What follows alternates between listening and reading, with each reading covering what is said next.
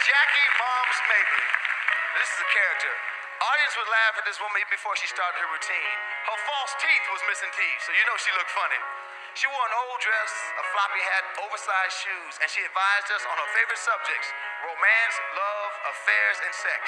She was moms from the 30s through the 60s, and the aroma of black eyed peas cooking in her dressing room used to draw all the Apollo crowd back to her dressing room.